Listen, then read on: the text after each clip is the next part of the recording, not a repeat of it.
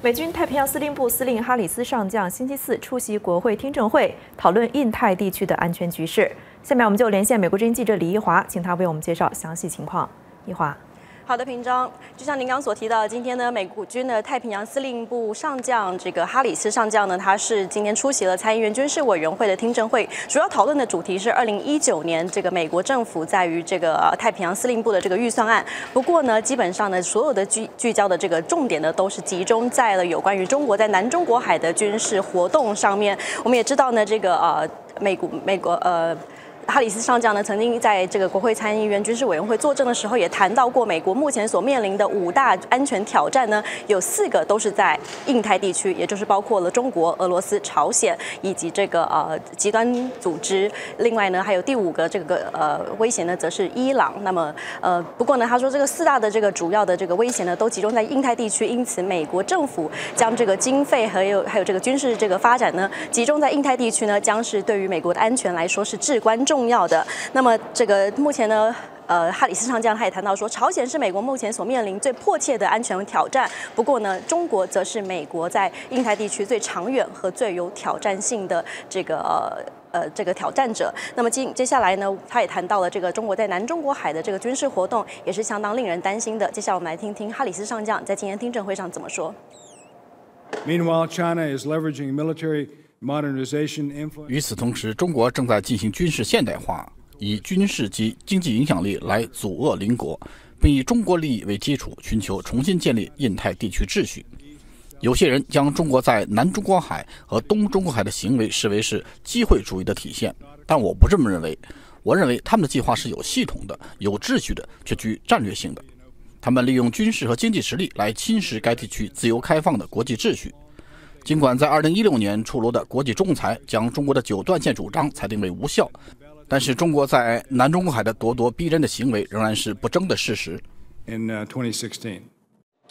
那么同时，我们也知道，目前呢，军参议院军事委员会的主席麦凯恩参议员呢是处在这个养病休假的这个状态。那么这个代理主席呢，则是来自奥克拉荷马州的英霍夫参议员。那么英霍夫参议员呢，日前呢，在两个多星期之前呢，是率领了这个参议院军事委员会的成员，这个访问了亚太地区的四个盟友和伙伴，其中包括了菲律宾、台湾、韩国和日本。那么英霍夫参议员呢，在今天听证会上也谈到说，所有的各方对于中国在印太地区的这个活动越越来越频繁，都感到相当的担忧。除此之外，他也谈到了一个非常这个令人担心的现象，也就是是美国目近年来呢，在印太地区的这个活动和这个出现的这个频频率呢，越来越渐渐趋平缓，导致这些国家呢，其实分出现了一些这个内部政治分裂的情况，包括了向中国靠拢还是向美国靠拢这样的这种政治分裂的情况。他说，这个是令美国政府呢必须要警惕的现象。那么除此之外，他也认为说，这个他也谈到说，在这个参访这些这个呃伙伴和盟友的时候呢。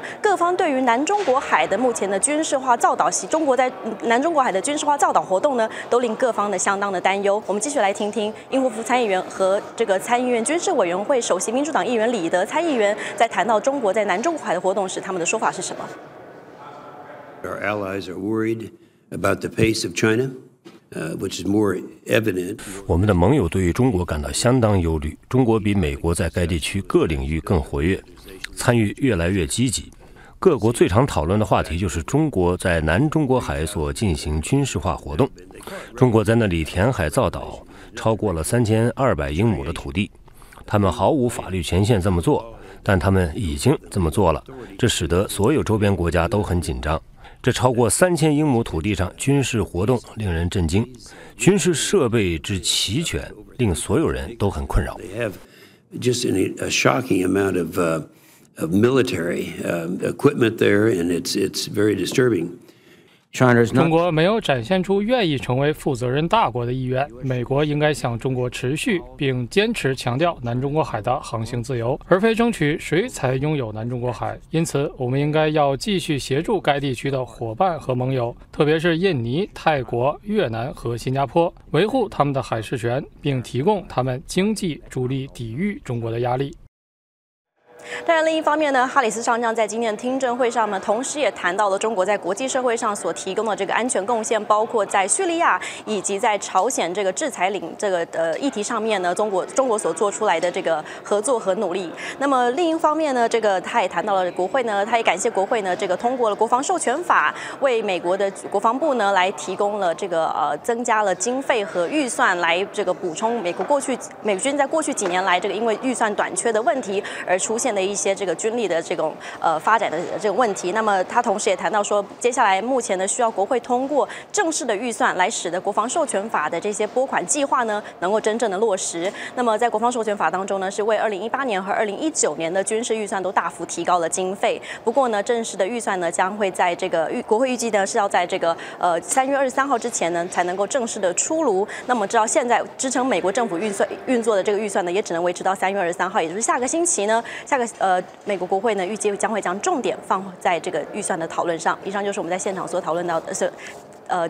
所呃掌握到的情况。时间交还给主持人平章。嗯，好的，谢谢易华在国会的连线报道。